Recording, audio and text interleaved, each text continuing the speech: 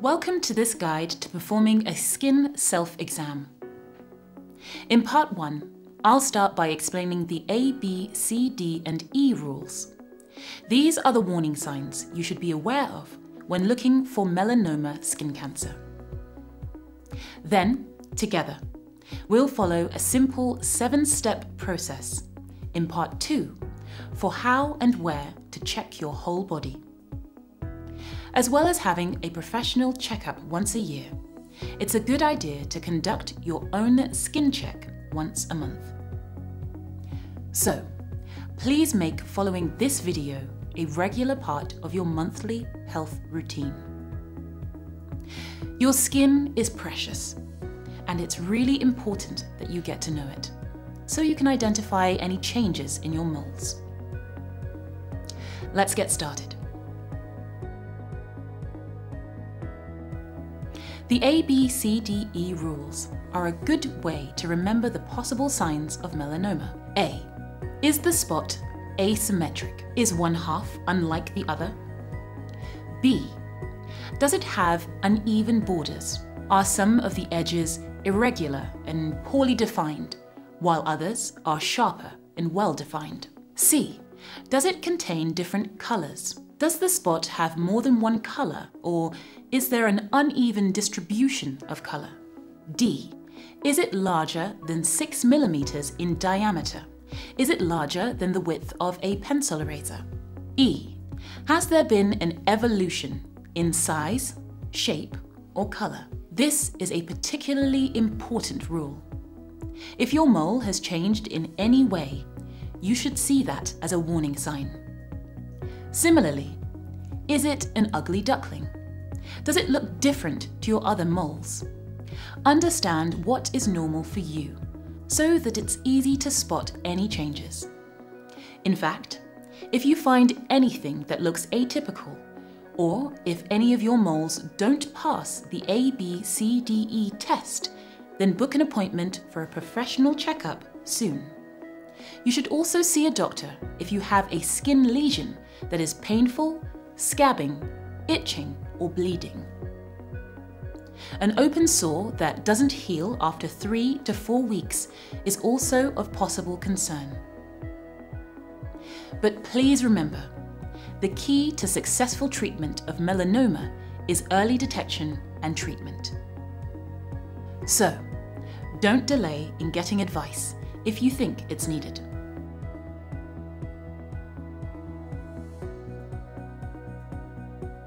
Now for part two the actual examination. We'll keep the ABCD rules on the screen in case you need a reminder of what to look for when you're doing your skin exam. We've allowed some time between each set of instructions, so you should just be able to leave this video playing in real time. But if you're not ready to move on and need more time to check any particular area, just hit the pause button.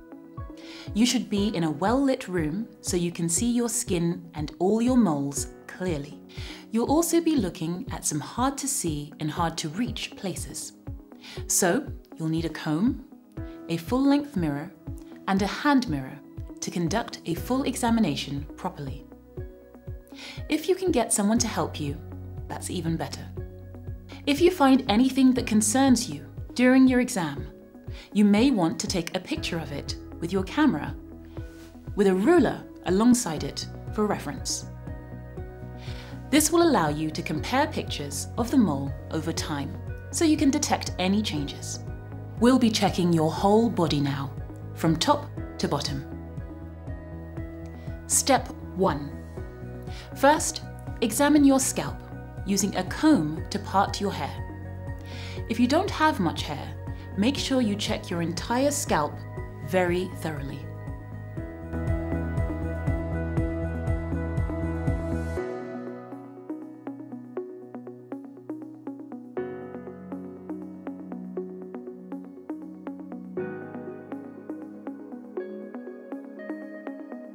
Step 2. Next, carefully check your face, including your nose, lips, mouth, and ears. Don't forget the tops and behind your ears.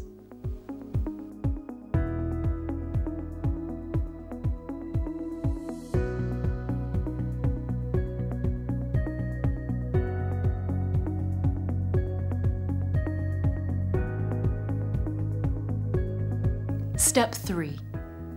Now focus on your neck, chest and upper body. Women be sure to check between and underneath your breasts.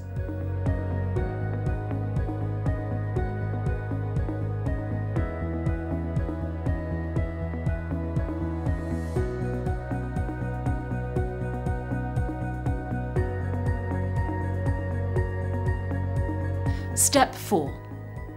Use both mirrors to check the back of your neck and your back from top to bottom.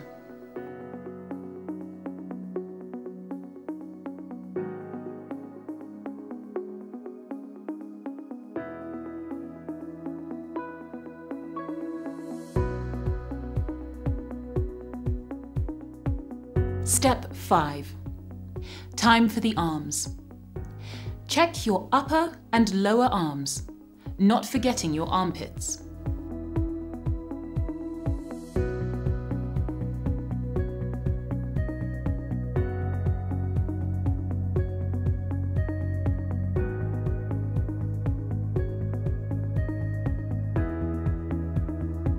Step 6. Next, check the front and back of your hands and in between your fingers. Pay attention to your nails. Finding any black streaks or unfamiliar ridges would be a warning sign.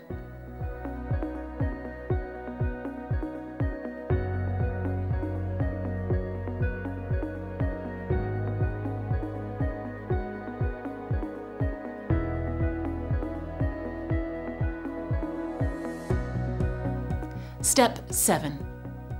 Lastly, examine your lower body. Check your genitals, buttocks, and your legs, both front and back. Finish by examining the soles of your feet, toes, and in between your toes.